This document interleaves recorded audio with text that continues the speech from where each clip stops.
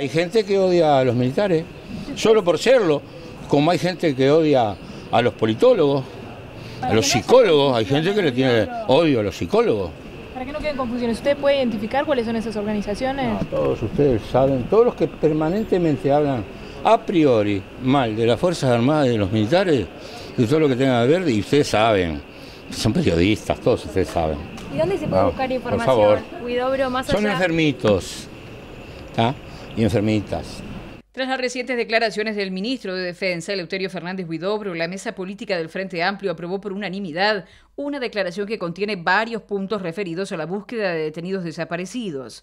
En este sentido se destacan que la fuerza política mantiene desde sus orígenes un inquebrantable compromiso con los derechos humanos, que respalda además la creación por parte del presidente de la República, doctor Tabaré Vázquez, del Grupo de Trabajo por Verdad y Justicia, mediante un decreto del Poder Ejecutivo. En este marco dice, sin embargo, que no comparten ni representan a esta fuerza política las expresiones del ministro de Defensa Nacional, Eleuterio Fernández Huidobro.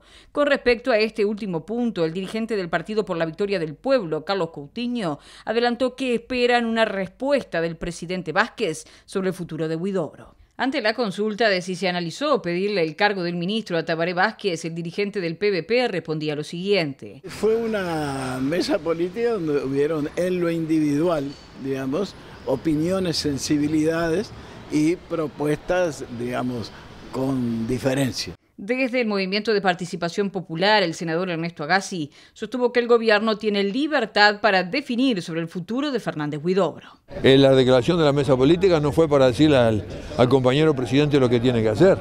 Este, los ministros son secretarios del presidente y el presidente es el que organiza el Poder Ejecutivo. Nosotros con eso no tenemos nada que ver.